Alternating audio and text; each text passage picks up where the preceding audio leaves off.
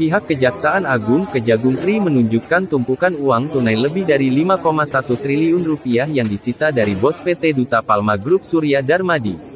Uang tunai tersebut merupakan barang bukti dari perkara tindak pidana korupsi dalam kegiatan usaha perkebunan kelapa sawit PT Duta Palma Group.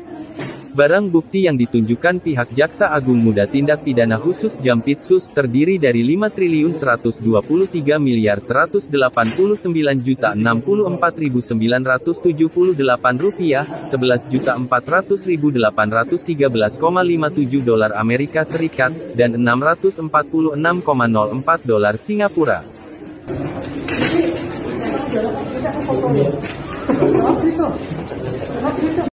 Uangnya kalau mau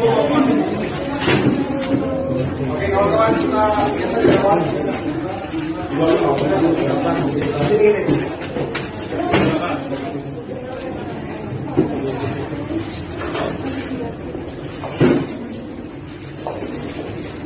Mobil yang pertamanya dulu.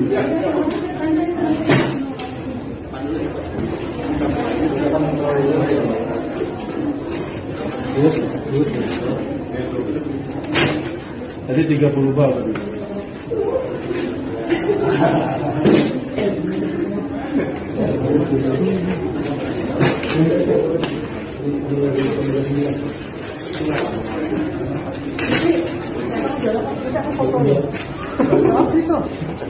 Kita.